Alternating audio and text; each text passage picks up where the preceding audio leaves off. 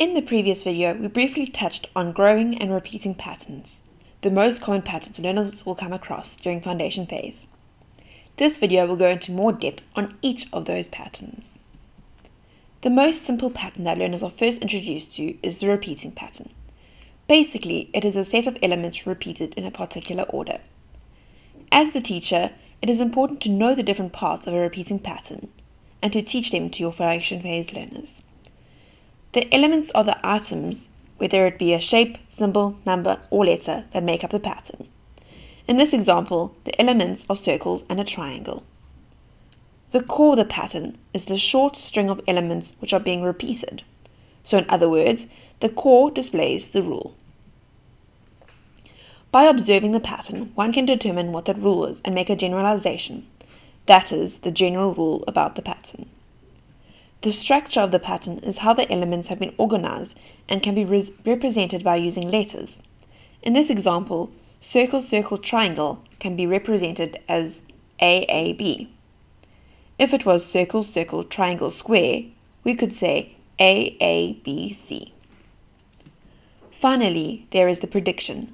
This is where one determines what the next element or elements in the pattern will be after investigating the pattern and determining the rule. Although we do not always use the given language used here with young learners, they will have to find all of these attributes and patterns as you, as the teacher, can ask specific questions about the concepts to guide them. Patterns can be represented in a variety of ways, for example, in a visual form by using actual objects and shapes, in an auditory way in the form of using rhymes, clapping, and singing songs, in a kinesthetic way by using actions and movements, and symbolically by using letters and numbers. It is important to use all of these pattern modes for young learners to fully grasp the concept of patterning. Young learners start by identifying patterns. Allow them to tell you what is and what is not a pattern, and point out concepts which would make something a pattern. Learners should use their own words to explain why or why not something is a pattern. You may elaborate on their answers. Next, they should be able to read or describe a pattern. This consists of them being able to name each element. For example, the pattern is a blue bead and then a red bead and another red bead.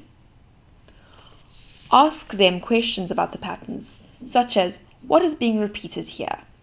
Or describe what you see in the pattern. What elements are there? And so on. A good way to get learners used to patterns is to have them copy a pattern. After they have correctly copied a pattern, make sure it is correct because some learners may struggle. Then ask them questions about it. What is the rule of the pattern? Basically, what is the core being repeated? Ask them to make a prediction by asking which elements may come next. Learners will enjoy making their own patterns too. Allow them to challenge the person next to them to describe the pattern, name the elements, determine the rule, and predict what comes next.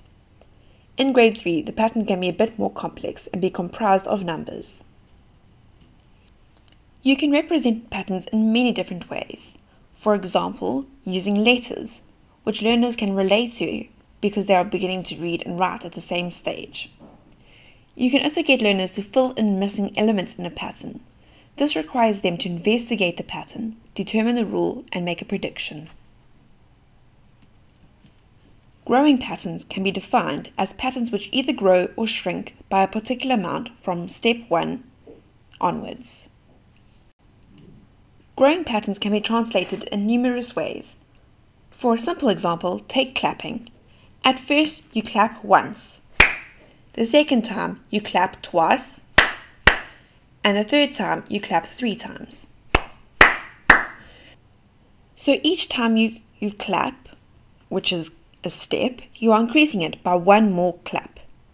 You can also use number lines to show growing patterns, tables, or input and output diagrams.